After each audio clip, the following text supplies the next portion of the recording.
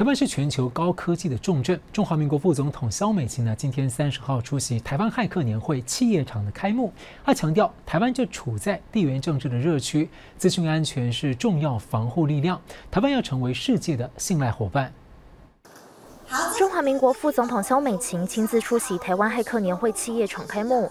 台湾长期遭受中共网络骇客攻击，萧美琴致辞强调，资安对台湾的重要性。台湾位处于国际的地缘政治热区，同时也是全球高科技的生产重镇，更是身处治安风险的第一线。所以，我们一方面是一个非常好的试验场域，同时提升台湾整体的治安防护能力，来维护我们供应链的安全与服务。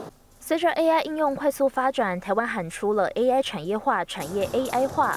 肖美琴指出，台湾资安也是坚韧之岛的重要防护力量，自安意识与防护能量要进入台湾的百工百业，打造资安产业化、产业资安化。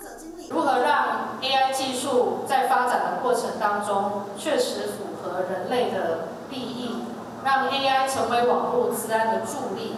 而不是治安的破口。台湾在科技、在 AI 领域都走在世界的前端，我们更需要展现对治安、对网络安全的责任，让台湾成为全世界能够信赖的伙伴。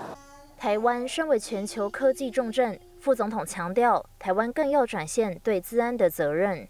新唐亚太电视曾义豪、曾新敏，台湾台北报道。